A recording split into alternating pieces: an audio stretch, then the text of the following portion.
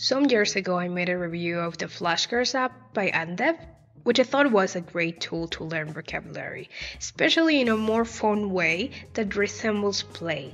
And not so much from it has changed, but there are some new features and some new characteristics that I thought were worth talking about. One of the most important being the change of price. So I hope this video helps you solve the questions that you may have had when downloading the app or maybe when watching the previous video. Just keep in mind, this is more like an update of the new features and not necessarily an in-depth video of how to use the app. Because in my previous video I did make a tutorial on how to use it and not so much on the interface has changed. So without further ado, let's get started. I'm going to be doing this walkthrough on an Android phone because even though now we have an iOS version, like everything on the Apple Store, it is behind a paid wall. I'm not sure if there is a free option like they have on Android because I wasn't able to pass from that wall. So now going back to the Android version, we still have the option to sync across devices, but as I mentioned, now we also have the option to sync with iOS devices. I will just put sign in later because I have a paid account and I just want to show you how it works when you first get the app. So one of the options I'm most excited about is the pre-made sets. So on Anki, one of the things that were very popular with them were pre-made sets because it saves you all the hassle of having to do the deck from zero and it gives you a starting point, especially if you're very very new to a language. And thankfully flashcards now has that option as well.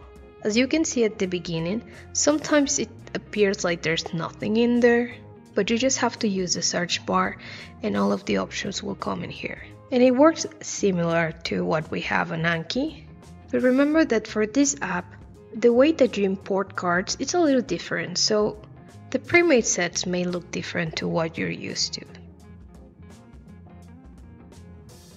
I'm going to save this one just to show you how it looks.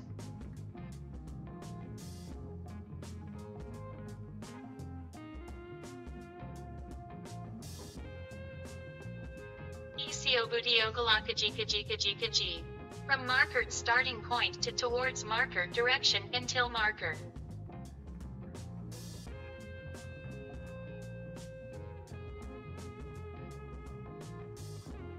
Remember to make sure that you have selected the right language when you are beginning because otherwise you will have just weird pronunciations that won't help you so much. So as you can see,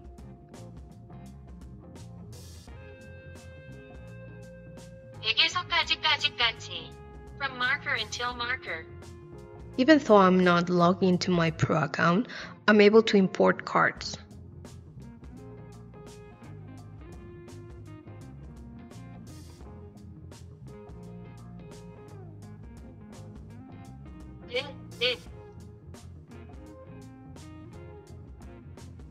Topic subject marker. I can also review them.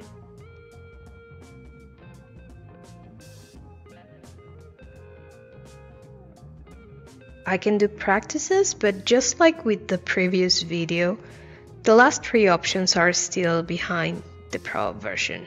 But to be honest, I don't really use those ones that much. Even though you can use this one to practice writing, I don't think it's that necessarily because you're still practicing writing when you make notes on your notebook or whenever you make homeworks for your classes, maybe.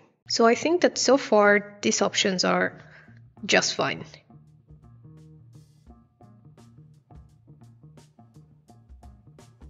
You see, everything works just fine.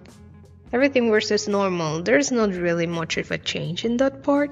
But one of the main things I saw a change of was the pricing. It is a little more pricey nowadays than when I first got it. And especially for iOS, it has like a subscription plan where you have the monthly subscriptions, the annual subscriptions, and also it allows you to have a one time payment, but it's a lot more than what you see in here. Another option that we have on this new version, and it's one of the options that I'm most excited about. Oh, I'm going to make a new card to show you that. is a multiple answers option. So before we only had the advanced options where you will have like a term in here, like I used sagwa last time. So let's use sagwa again.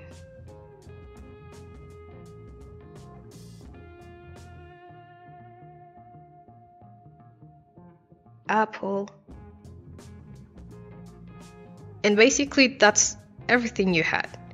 You could add a picture of an apple when you click in here. And this part would just allow you to probably bookmark some pages when you may have more examples and in here you can put like a sentence to where you're using that vocabulary. But now we have the multiple answers.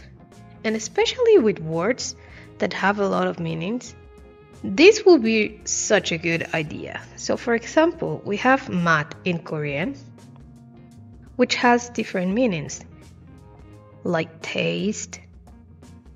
Oh, next one. Feel, pleasure. And to be honest, this is such a great improvement. But the only downside is that you can only select one as the correct answer. So it doesn't make much sense to have multiple answers unless you want to like challenge yourself a little more, but I think that it's okay the way that we have it so far in the in the practice options, but that's just another thing. And since now it's also synced with the website, you're able to keep everything in sync from here.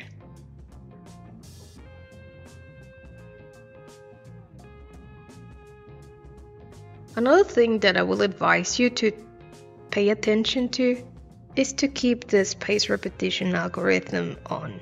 For some reason with the new updates, it won't turn on by itself, so you have to manually turn it on. Another option you need to keep on is auto read cards. So whenever you're doing a review, the audio just pops and plays by itself and you don't have to just be clicking all the time to hear the pronunciation. It is very different from what we see in the market with apps like Anki or probably even Quizlet, although Quizlet actually has more options. But the fact that it's growing towards integrating more and more features, and I still think it's the best option to use when learning vocabulary. So I would really recommend you giving it a try. So, have you used the app? What do you think about it? Thank you for watching. See you next time.